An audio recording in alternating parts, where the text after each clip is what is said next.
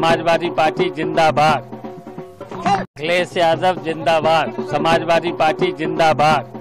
घोसी उपचुनाव दोनों ही पार्टियों के लिए साक्षात चुनाव बन गया था। किसी भी हालत में बीजेपी इस चुनाव को जीतना चाह रही थी। उसने दारा सिंह को इस चुनाव में मैदान में उतारने के बाद अपने बड़े बड़े मंत्रियों की फौज भी मैदान में उतार दी चुनाव प्रचार के लिए। दूसरी तरफ़ संजय निषाद, ओपी राजभर पूरी ताल ठोक करके घोसी में डटे हुए थे। दूसरी तरफ़ ओपी राजभर ने अपनी मर्यादा लांग दी। अखिलेश यादव, शिवपाल यादव को क्या कुछ नहीं बोला। उन्हें अखिलेश यादव को सैपई भेज करके बोला की मैं एक बाप की औलाद नहीं, अगर शिवपाल यादव और अखिलेश यादव को शैपई नहीं भेज दिया। का जवाब, घोषी की जनता ने दिया और आठ तारीख को जो मतगणना हुई, उसके बाद ओपी राजभर कहीं दिखाई नहीं दिए, घोषी के आसपास। सरकार उन्हें ढूंढते रहे, लेकिन वो कहीं भी दिखाई नहीं दिए। दारा सिंह तो बात करने के लिए राज़ी भी नहीं हुए और छिप करके कमरे में बैठे हुए थे। जैसे तैसे पत्रकार ने ढूंढा, लेकिन वो बात करने के लिए तैयार नहीं हुई। तो इससे ये साबित होता है कि शिवपाल यादव की जो रणनीति है, उसके सामने अच्छे अच्छे मंत्री और उप मुख्यमंत्री और मुख्यमंत्री धराशायी हो जाते हैं। क्योंकि शिवपाल यादव ने जिस प्रकार से मैनपुरी में सपा को जिताया, उसके बाद घोषी में जो चाल चली, उससे सारी बीजेपी चित हो गई। बीजेपी के दस मंत्री, दो उप मुख्यमंत्री और खुद मुख्यमंत्री ने वहाँ जाकर प्रचार किया। देर रात वहाँ पड़े रहे मंत्री, लेकिन कुछ नहीं हो पाया। अकेले शिवपाल यादव मैदान में जैसे डटे जैसे उन्होंने वहाँ अपना